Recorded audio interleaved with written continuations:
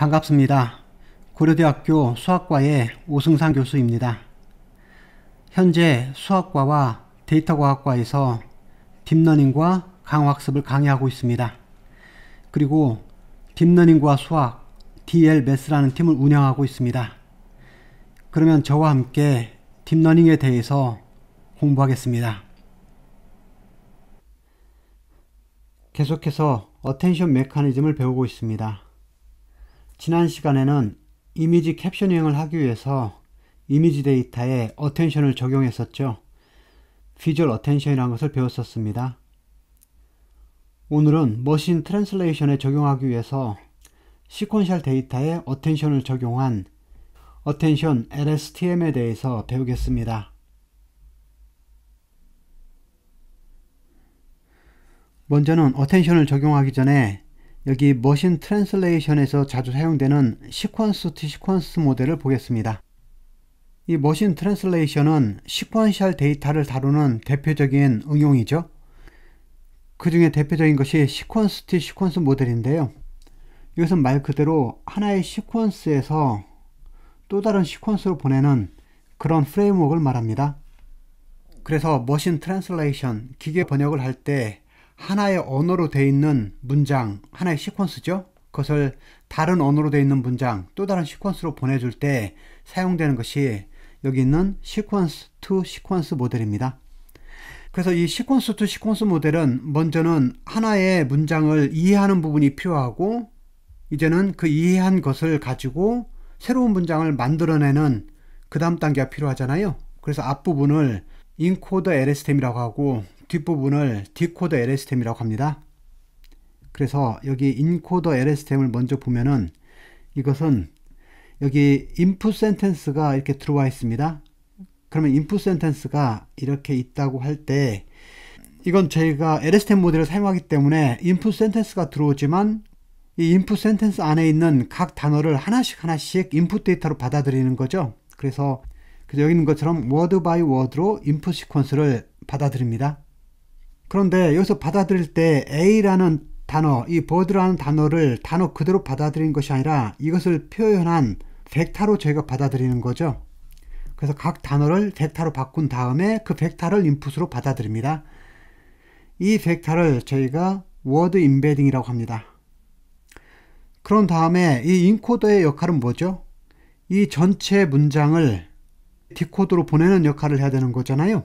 그러니까 여기가 인코더라고 하겠습니다. 지금 영어로 된 문장 이것을 받아들이는 역할을 하는 거죠. 그런 다음에 이것을 이 hidden state를 통해서 이제 이 디코더로 보낼 거예요. 디코더는 지금 불어로 된 문장을 생성하는 겁니다. 그래서 여기 인풋 시퀀스에 있는 전체 내용을 여기에 있는 fixed size 벡터가 이렇게 있는데 이것은 사이즈가 크지가 않습니다. 이 작은 사이즈의 벡터로 compress를 시켜야 됩니다. 그래서 이것을 저희가 인코더 LSTM이라고 부르고 이제 디코더 LSTM은 무엇을 하는 거죠? 디코더 LSTM은 여기 있는 작은 사이즈의 벡터가 이렇게 있죠? 여기 hidden state를 말하고 있습니다. 이 hidden state에 있는 작은 사이즈 벡터를 가지고 이제는 불어로 된 문장을 생성을 해야 되는 거잖아요. 그래서 여기 encoded 벡터 이것을 말하고 있습니다. 이 encoded 벡터를 기초로 해서 여기 아웃풋을 예측을 하는데 이 경우도 마찬가지로 단어를 하나씩 하나씩 생성하는 거죠. word by word로 이렇게 단어를 하나씩 생성을 하게 됩니다.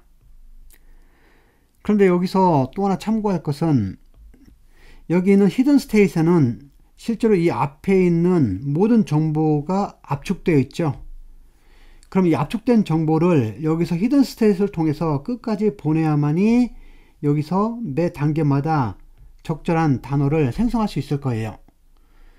그래서 여기는 LSTM 셀을 기준으로 한다면 이 time step에서는 여기 있는 정보들을 hidden state를 통해서 가져온 이 정보를 사용하고 또 하나는 여기까지 아웃풋으로 나온 이것을 인풋으로 받아들여서 이 두 개를 참고해서 이제 그 다음 단어를 생성하게 됩니다. 그래서 여기 보면 각 스텝에서 여기 encoded 벡터 뿐만 아니라 바로 직전 단계까지 저희가 아웃풋으로 출력했던 예측했던 그 단어를 인풋으로 받아들여서 그 다음에 나오는 이 아웃풋 워드를 예측하게 됩니다. 이것이 기본적으로 기계 번역에서 사용되고 있는 sequence to sequence 모델입니다. 그래서 이 과정을 다시 한번 살펴보면은 여기 인코더 LSTM 이렇게 있죠. 여기에서는 여기 H0는 저희가 random initialization을 사용한다고 했습니다. 그리고 인풋 데이터로 A라는 단어가 들어오면 이 두 개를 가지고 저희가 첫 번째 hidden state를 만들어내게 되는 거죠. 그리고 두 번째 인풋 데이터로 이 bird라는 단어를 나타내는 word embedding이 들어오면은 이 hidden state와 합쳐서 두 번째 hidden state인 H2를 만들어낸다고 했습니다. 이 경우는 저희가 이 문장을 인식하는 것만 하기 때문에 굳이 아웃풋은 새로 만들어낼 필요가 없죠. 그래서 아웃풋으로는 저희가 아무것도 출력하지 않습니다. 이런 식으로 해서 최종적으로 마지막 단어인 이 hand라는 단어의 word embedding 벡터가 인풋으로 들어오면은 여기 있는 previous hidden state과 합쳐져서 이제 인코더 LSTM의 최종 hidden state이 나옵니다. 그것을 간단히 제가 V라고 표현하겠습니다. 이 V는 여기서 말한 small fixed size 벡터가 되는 거죠. 그리고 바꿔 말하면은 여기에 있는 문장 전체를 하나의 벡터로 인코딩한 벡터가 되는 겁니다. 그런 다음에 디코더 LSTM에서는 이제 어떻게 하나요? 여기 encoded 벡터가 이렇게 들어오죠. 여기 encoded 벡터로 갑니다. 이게 들어오고 그리고 이제 문장을 새로 생성해야 되기 때문에 처음에 시작을 나타내는 어떤 인풋이 있겠죠. 그리고 이 두 가지를 가지고 디코더 LSTM에서의 첫 번째 hidden state 이번엔 S로 표현할게요. 이 첫 번째 hidden state를 만들어내겠죠.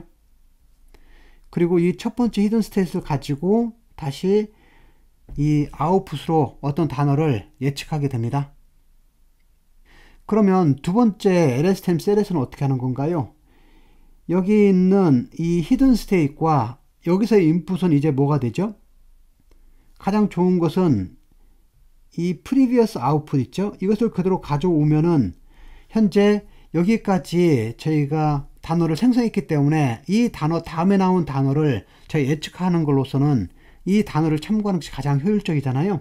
그러니까 이 단어와 이 hidden state를 참고해서 두 번째 hidden state를 만들어냅니다.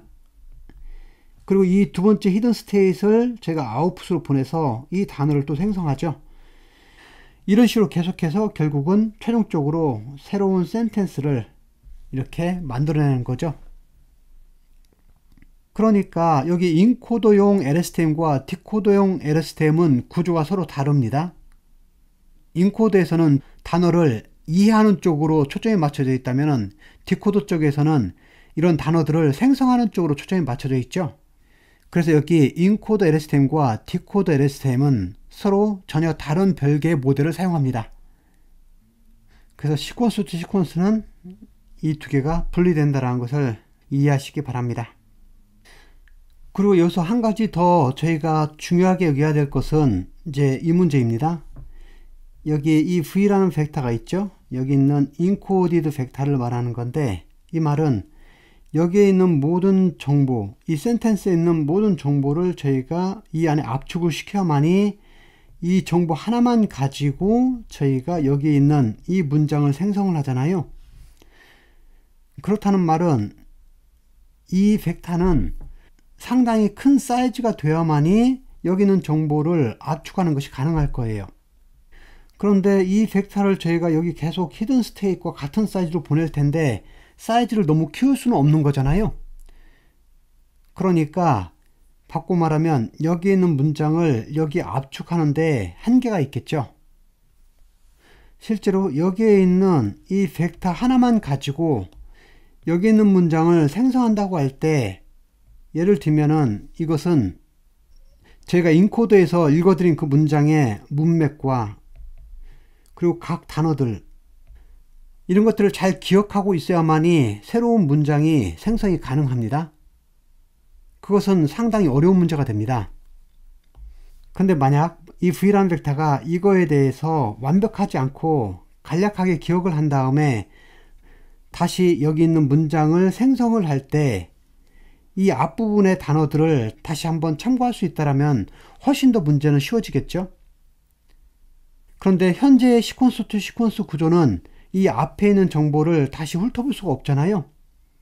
그래서 저희는 attention이라는 구조를 사용해서 이제는 이 앞부분을 다시 한번 참고할 수 있게끔 만들어 줍니다. 그래서 attention은 특별히 머신 트랜슬레이션에서는 아주 효율이 좋습니다.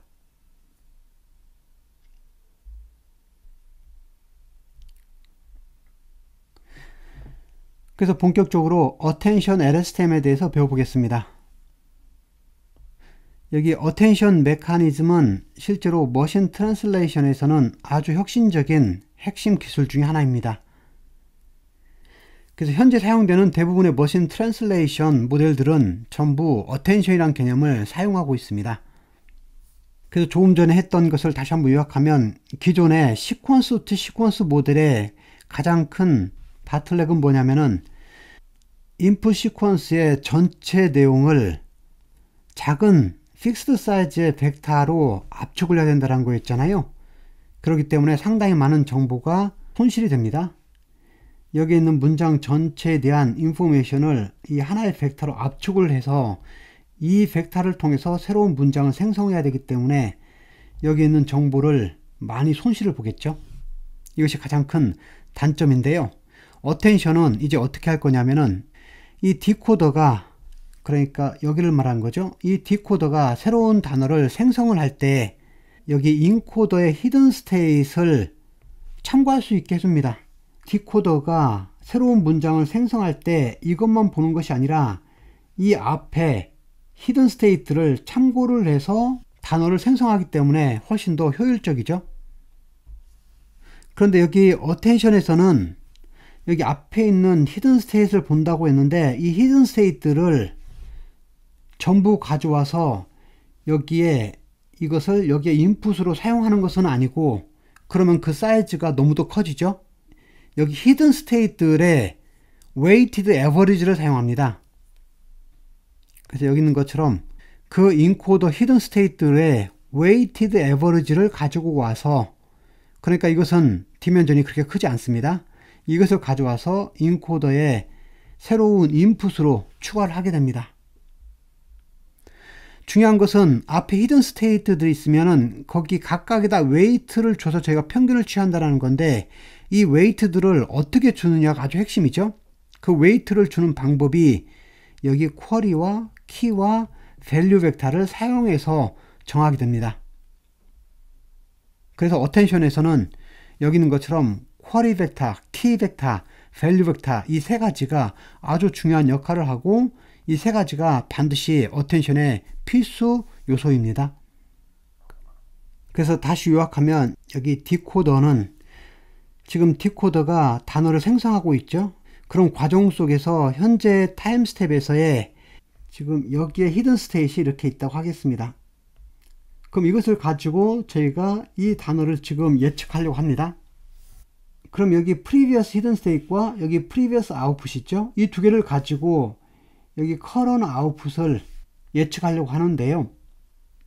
그 말은 여기 previous hidden state에는 어떤 정보가 지금 들어있나요? 여기 previous hidden state은 여기 encoded 벡터에 있는 모든 정보들이 어느 정도 여기까지 전달이 돼 있죠? 그리고 바로 이전 단계까지 저희가 어떤 단어들을 생성을 했는지에 대한 정보도 이 안에 숨어져 있습니다. 그러니까 여기에는 이제 어떤 단어를 그 다음으로 예측해야 되는지 예를 들면은 이제 다음으로는 제가 목적어를 찾아야 된다 이런 식의 어떤 암시가 들어있겠죠? 그러니까 이것을 통해서 이 앞에를 살펴볼 거예요. 그래서 만약에 어, 그 다음 생성할 단어가 목적어다 그러면은 이 앞에 문장에서 목적에 해당되는 단어를 더 관심 있게 보겠죠? 그래서 여기 decoder의 각 단계에서의 hidden state를 기준으로 해서 여기 input sequence에서 이와 관련된 특별한 단어들이 있겠죠. 예를 들면 목적어면 목적에 해당되는 단어가 있잖아요. 그 단어에 더 집중을 하면은 그런 경우에는 이 단어를 저희가 번역하면 되는 거죠. 그래서 먼저 여기 key, query, value에 대해서 간단히 요약하면은 여기 있는 것처럼 저희가 attention을 할 때 제가 무엇을 attention 해야 될지를 참고하는 그 기준이 되는 것은 여기 있는 decoder의 hidden state입니다. 얘를 기준으로 저희가 앞에 input sequence에서의 어떤 단어들을 참고해야 될지를 기준을 잡습니다.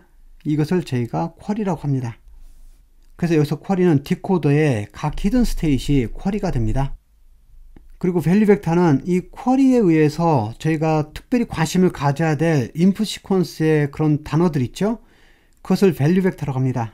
여기서 말한 이 input sequence 안에서의 specific word들 있죠? 이것이 value가 됩니다. 그런데 엄밀히 말하면 저희는 input sequence의 이 각 단어들을 바라보기보다는 각 time step에서 hidden state를 참고하는 거잖아요. 그래서 실제로는 여기 value 벡터는 여기 specific word라고 말은 하지만 여기 있는 encoder의 hidden state이 되는 거죠. 그러면 key는 뭘까요?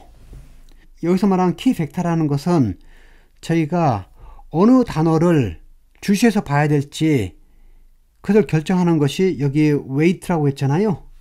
이 weight를 계산하기 위해서 사용되는 벡터들입니다. 그런데 이 경우에는 이 weight를 찾을 때 저희가 동일하게 encoder의 hidden state를 사용해서 이 weight를 계산을 합니다. 그래서 이 경우에는 키 벡터하고 value 벡터를 둘 다 encoder hidden state를 사용한 예가 되는데 그런데 실제로 더 복잡한 알고리즘을 가게 되면 query, key, value 벡터가 정확히 세 가지가 구분이 되어 있습니다. 그런데 오늘은 비교적 간단한 모형을 하기 때문에 key하고 value 벡터를 encoder hidden state로 같이 사용하는 것으로 제가 모델을 잡아봤습니다. 하지만 역할은 다릅니다. 그래서 다시 한번 정리하면 여기 query 벡터라는 것은 내가 input sentence에서 어떤 단어들을 중요시 여겨야 될지를 요청을 하는 벡터라고 생각을 하면 됩니다. 그러니까 여기 있는 decoder의 previous hidden state이 되는 거죠. 그래서 query를 st-1이라고 하겠습니다. 그리고 키 벡터는 input sentence 안에 있는 각 단어별로 weight를 내가 어떻게 해야 될지 이 query의 요청에 의해서 weight를 정하기 위해서 계산되어지는 그런 벡터입니다. 여기서는 encoder의 hidden state를 사용했었으니까 이것을 저희가 hi라고 표현하면 되겠네요. 그러면 weight가 계산이 된다면은 그 다음에는 이 weight를 가지고 실제 average를 구하잖아요. 이 단어와 관련된 hidden state에 저희가 weighted average를 구합니다. 그러니까 이것도 마찬가지로 encoder의 hidden state인 HJ로 표현해 보겠습니다. 그래서 이 경우에는 key하고 value 벡터가 같다라는 거 동일한 encoder hidden state를 사용한다는 것만 염두에 두시기 바랍니다. 그래서 여기 그림에서 보면은 이 부분만 보면은 이것은 기존의 sequence to sequence 모델이 됩니다. 그런데 여기에 여기 previous hidden state 값으로 저희가 query를 사용을 해서 encoder의 hidden state에 이 query를 각각 적용을 해서 여기서 저희가 weight들을 계산합니다. 그런 다음에 이 weight로 저희가 weighted average를 취합니다. 이 weighted average도 여전히 여기 hidden state를 기준으로 취하는 거죠. 그런 다음에 이것을 여기에 새로운 인풋을 집어넣어서 여기에 아웃풋을 예측하는데 이 부분을 참고를 하는 거죠. 이것이 추가된 것이 바로 Attention LSTM 모델입니다. 더 자세한 내용은 다음 슬라이드에서 설명해 보겠습니다. 그래서 이 attention의 가장 큰 장점은 여기 있는 encoded vector 뿐만 아니라 앞에 시퀀스를 다시 참고하면서 디코더가 새로운 단어를 생성한다라고 했죠. 훨씬 더 효율을 높이는 것도 있었습니다. 두 번째 장점은 이것을 만드는 네트워크가 있다고 할 때 이 네트워크의 각 weight 값을 저희가 출력을 할 수가 있죠. 그래서 볼 수는 있지만 그 weight들이 너무도 방대하기 때문에 이것이 무엇을 의미하는지는 이해하는 것은 거의 불가능합니다. 그래서 deep neural network를 일종의 블랙박스라고 한다고 했잖아요. 그런데 여기 있는 이 weight들은 실제로 저희가 출력을 하면은 이 weight 값들이 크고 작음에 따라서 저희가 어떤 단어들을 중요시 여겼는지는 직접 볼 수가 있습니다. 저희가 이해할 수 있다는 뜻이에요. 그래서 때로는 그것은 아주 중요한 정보가 될 수가 있겠죠. 그래서 여기 있는 것처럼 이 attention LSTM의 장점은 attention 모델을 사용했기 때문에 여기 attention weight가 있는데 이 값을 제가 출력함으로써 아, 이 모델이 어느 어느 부분을 중요시했구나 이것들을 저희가 어느 정도 인식을 할 수가 있습니다. 바꿔 말하면 특정한 아웃풋을 만들어낼 때 이때 관련된 이 인풋 시퀀스 안에서의 인풋 파트 있죠. 이것들에 대해서 저희가 이 attention weight를 가지고 파악을 해서 결국 이 모델의 inner working 그래서 블랙박스라고 했었는데 이제는 그 안에 어떤 정보들을 어느 정도는 저희가 끄집어내서 이해할 수 있잖아요. 그런 장점이 있습니다. 그래서 이것을 Unveiling DNN black box라고 이렇게 말할 수 있습니다. DNN이 블랙박스 구조인데 이것을 약간은 밝혀냈다 이런 뜻이겠죠. 그럼 이제 이 구조를 조금 더 자세히 살펴보겠습니다.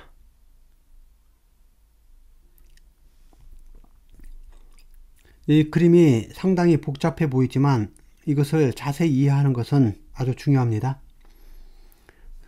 특별히 attention 중에서 이 attention 하는 방법이 여러 가지가 있는데 오늘은 가장 간단한 dot product attention에 대해서만 생각을 해보겠습니다. 여기 dot product attention도 있고 또 그 외에 여기 general한 형태의 attention도 있고 그리고 여기 concatenation을 사용한 attention도 있고 종류가 아주 많이 있습니다. 이거 외에도 많이 있는데 오늘은 attention 자체를 이해하기 위해서 가장 간단한 dot product 모델만 살펴보겠습니다. 그래서 조금 전에 설명한 것처럼 여기 쿼리가 있습니다. 디코더의 previous hidden state이죠. 그리고 여기 키가 있습니다. 이것은 인코더에서의 hidden state를 말합니다. 그리고 여기 value가 또 있죠. 동일하게 인코더의 hidden state이죠. 참고로 이번 강연에서는 자세히 소개하진 않지만 대표적으로 기계 번역에 사용되는 모델 중에 트랜스포머가 있습니다. 그래서 현재 구글이나 여러 회사에서 사용되는 번역기들이 있죠. 이 번역기들이 기본적으로 이 transformer를 기반으로 하고 있습니다. 그리고 이 transformer를 잘 살펴보면은 이 transformer 안에서는 query, key, value가 정확히 다르게 세 개로 구분이 되어 있습니다. 그래서 관심 있는 분들은 이 transformer 모델을 살펴보면은 특별히 여기 key와 value가 어떻게 다른지 정확히 이해하실 수가 있을 겁니다. 그래서 제가 지난 시간에 visual attention에서도 이 attention weight 계산하는 방법을 배웠습니다. 그때는 이런 방식이었어요. 그리고 여기 이 i들은 모든 i에 대해서 다 적용한 것들이었어요. 이 안에 deep neural network를 써서 이걸 했다고 했죠. 그런 다음에 마지막 softmax를 취해서 attention weight를 찾았습니다. 그런데 이때 저희가 참고했던 쿼리는 뭐였었나요? 이때 쿼리는 previous hidden state 이거였죠. 여기서 말하는 이걸 말합니다. 그리고 visual attention에서의 키 벡터는 이거였습니다. 이건 뭐였죠? Localized area 안에서의 이미지 피처 벡터였었죠. 그런데 지금 모델에서 사용하고 있는 키 벡터는 뭐였어요? 이것은 인코더의 hidden state였잖아요. 이것만 좀 달라졌네요. 그렇게 해서 저희는 마지막에 동일하게 softmax를 취해서 전에 여기 attention weight처럼 이번에도 attention weight 알파 ti를 구합니다. 그래서 여기서 t는 여기 디코더 LSTM에서 현재의 time step을 말하는 거죠. 여기 t를 말합니다. 그리고 i는 뭔가요? i는 인코더의 hidden state 각각의 이 i들을 말하는 거죠. 그래서 마지막으로 이 attention weight를 가지고 제가 weighted average를 취하는 거죠. 그때는 여기 value vector에다가 이 weight를 곱한다고 했습니다. 그렇게 sum을 해주면 그래서 최종적으로 얻어지는 이 weighted average를 저희가 attention value라고 부릅니다. 그걸 AT라고 하겠습니다. 그래서 여기 attention을 사용한 LSTM과 standard LSTM이 있습니다. attention을 사용하지 않은 기존의 LSTM이 있는데 여기에서는 이 디코더의 hidden state를 만들어낼 때 어떻게 했죠? 디코더의 previous hidden state과 그리고 인풋을 previous output을 인풋으로 하기로 했죠. 이것을 사용해서 저희가 이 다음 state를 만들어냅니다. 이것이 standard LSTM이라고 하면은 여기 attention LSTM에서는 여기 하나 더 추가됩니다. 방금 저희가 찾았던 attention value가 여기 추가가 됩니다. 그래서 여기 previous hidden state과 여기 input 외에 이것이 더 추가되기 때문에 여기 current hidden state를 더 정확하게 얻어낼 수가 있겠죠. 그래서 그림으로 본다면 현재 여기까지가 여기 standard LSTM을 사용한 sequence to sequence 모델이 되는 거죠. 그래서 여기 input sentence가 이렇게 들어오면 각 단어들의 word embedding들을 input 데이터로 받아들여서 여기 hidden state를 계속 만들어내서 이 최종적으로 만들어낸 이 hidden state이 encoded 벡터가 되고 이것을 가지고 이제 여기 decode에서는 새로운 hidden state를 계속 만들어 가면서 거기서 각 단어들을 새로 생성해 가는 겁니다. 이것이 standard LSTM을 사용한 sequence to sequence 모델이라고 한다면 이제 attention LSTM을 사용한 sequence to sequence 모델은 여기 기존 모델에 여기 attention 파트가 추가가 되어 있습니다. 그 attention 파트는 방금 제가 설명드린 이 공식을 그림으로 그린 것이 이 밑에 있는데요. 한번 살펴볼까요? 여기 decode 모델에서의 previous hidden state 이렇게 있죠? 이것이 query라고 했습니다. 이 query를 이제 가지고 가서 그 다음에 어떻게 하는 건가요? 각각의 히든 스테이트와 dot product를 취하죠. 여기 dot 프로덕트를 취합니다.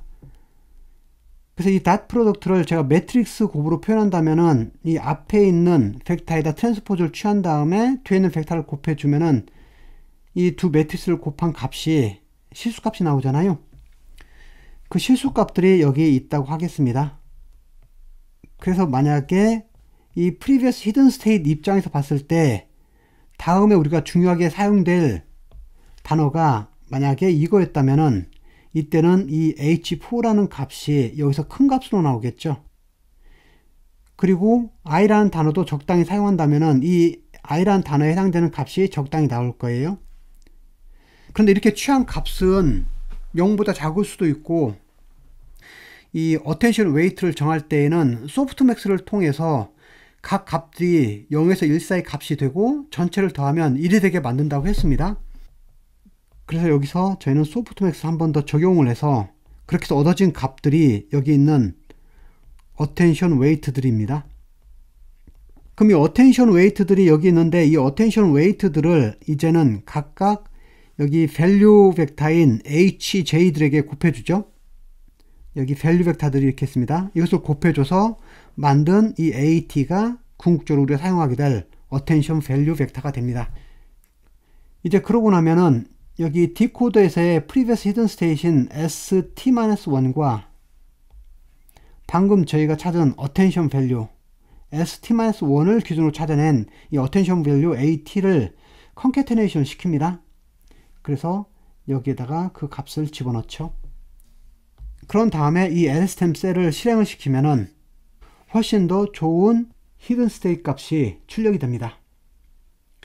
그래서 여러분들은 이 모델에서 query, key, value의 역할들을 잘 이해를 하시고 이 세 가지가 어떻게 조화롭게 섞여서 결국은 weighted average를 만들어내는지 그 부분을 잘 이해하시기 바랍니다. 그리고 다시 한번 언급하면 여기 encode에서 사용되는 LSTM과 여기 decode에서 사용되는 LSTM은 서로 다른 구조를 가지고 있습니다.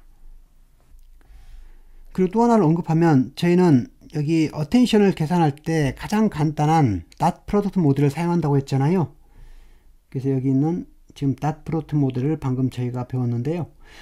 그래서 이런 경우에는 실제로 제가 학습해야 될 weight가 여기 따로 있지는 않죠. 그러니까 이것은 non 러너블이 됩니다. 그런데 성능을 더 높이기 위해서는 여기에 학습이 필요할 수가 있습니다. 그래서 여기 있는 것처럼 weight matrix를 중간에 추가를 해서 여기 이렇게 곱해준 형태를 general 모델이라고 하는데 이렇게 되면 이 weight matrix가 있기 때문에 더 좋은 값의 attention weight들을 출력을 할 수 있겠죠. 또 다른 방법으로는 여기 있는 것처럼 이 W라는 큰 weight matrix에다가 여기 decoder의 previous hidden state과 encoder의 hidden state을 이번엔 concatenation 시켰습니다. 그렇게 해서 계산하면은 여기는 일종의 벡터가 나오겠죠? 그런데 제가 원하는 것은 실수값이 나와야 attention weight를 정하는 거잖아요. 그러니까 이 앞에다가 또 learnable 벡터를 곱해줘서 결국 실수값을 만들 수도 있습니다. 이런 식으로 여러 가지 저희가 다른 모델들을 사용해서 attention의 기능을 더 발전시킬 수도 있습니다. 여기 사용되는 여러 종류의 모델들은 블로그를 통해서 여러분들도 각자 공부하실 수가 있습니다. 그래서 attention LSTM에서는 이 구조, 이 구조를 정확히 이해하시면 좋겠습니다.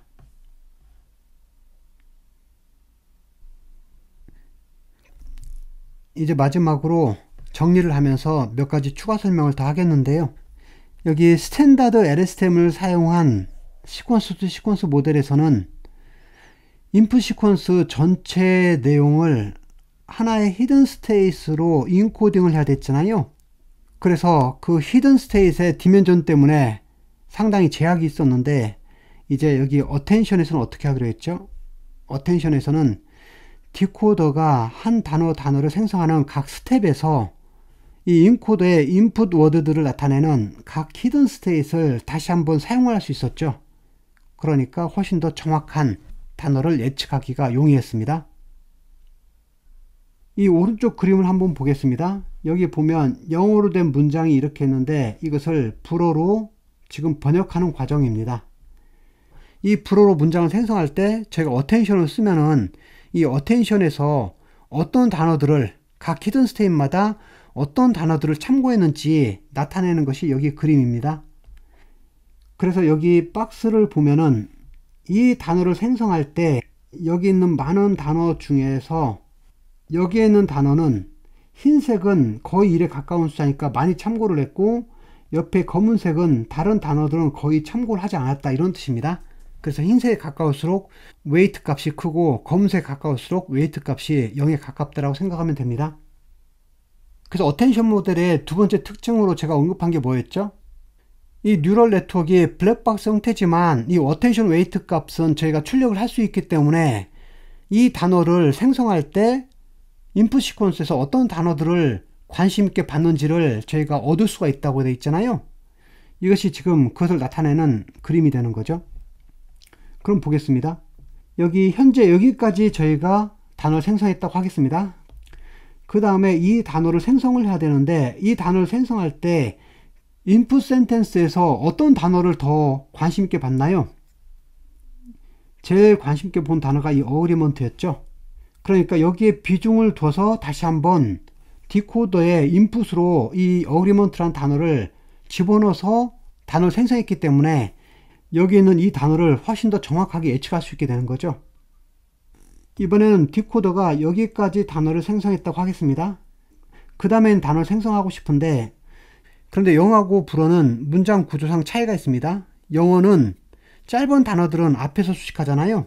그러니까 European Economic Area 이렇게 수식이 되는데 불어에서는 그게 반대로 되어 있습니다. 그래서 여기 European Economic Area를 나타내는 단어인데 이번에는 수식이 뒤에서부터 이렇게 이루어지죠. 그래서 이 경우에는 이 단어를 생성하는데 어디를 참고했나요? 여기를 많이 참고했습니다. 그 말은 이 Area라는 단어를 참고해서 했기 때문에 이 단어를 정확히 예측할 수가 있었죠. 그리고 이 단어는 여기는 Economic이라는 단어를 참고했기 때문에 여기를 참고한 것이 되고 여기 이 단어는 여기 European이라는 단어를 참고했습니다. 그래서 이렇게 역방향 모습으로 표현되는 것은 어순이 바뀌어서 생기는 현상입니다. 중요한 것은 여기 있는 각 단어를 생성할 때 기존의 encoded 벡터만 참고하는 것이 아니라 인풋 sentence에 직접 가서 거기에 있는 hidden state 이것들의 hidden state를 직접 참고하기 때문에 훨씬 더 정확하게 이 단어들을 번역을 할 수 있게 되는 겁니다. 그래서 여기 핵심 아이디어는 그거죠. 여기 인풋 sentence의 각 단어들에는 우리한테 필요한 정보들이 다 있으니까 그것을 디코더가 다시 인코더로 가서 그 인풋 sentence에 있는 정보들을 다시 한번 보겠다. 이런 뜻을 가지고 있죠. 여기까지가 attention LSTM에 대한 소개였습니다. 그런데 여기 attention LSTM도 단점들이 있습니다. 그 중에 대표적인 하나가 이거예요. 이것은 RNN 모델이기 때문에 인풋 데이터로 단어가 하나씩 하나씩 순서대로 들어와야 되죠. 그 시퀀스에 맞춰서 하나씩 하나씩 들어와야 되기 때문에 아주 긴 문장이 들어와도 결국은 그 단어를 앞에서부터 하나씩 하나씩 하나씩 인풋으로 받아들여야 되잖아요. 그래서 large corpus에 대해서는 이게 parallel computing 하는 것을 할 수가 없습니다. 결국은 단어를 하나씩 하나씩 지나야 되기 때문에 이 parallel computing이 불가능하죠. 그걸로 인해서 training time이 아주 길어집니다. 그리고 또 하나는 이 RNN 모델 특성상 그 시퀀스의 길이가 길어졌을 때 상당히 앞에 있는 단어에 대해서는 long-term dependency가 떨어지게 되는 거죠. 그래서 문장 안에서 그 단어 사이의 길이가 길어질수록 서로 dependency가 떨어진다는 단점이 있습니다. 그래서 특별히 이것은 기계 번역을 할 때 parallel computing이 불가능하다는 것과 이 global dependency가 약하다는 것은 큰 단점이 되는데 이것을 개선하기 위해서 만든 것이 여기 있는 Transformer라는 겁니다. Transformer는 기본적으로 인코더, 디코더 구조를 가지고 있습니다. 인코더에서는 문장을 읽어들이고 디코더에서는 문장을 생성하는 그런 역할을 한다고 하면 되겠죠. 그런데 중요한 것은 이 Transformer는 시퀀스를 다루긴 하지만 RNN 스트럭처는 전혀 아닙니다. 기존의 RNN 스트럭처하고 전혀 다른 방식으로 시퀀스를 인풋으로 받아들입니다.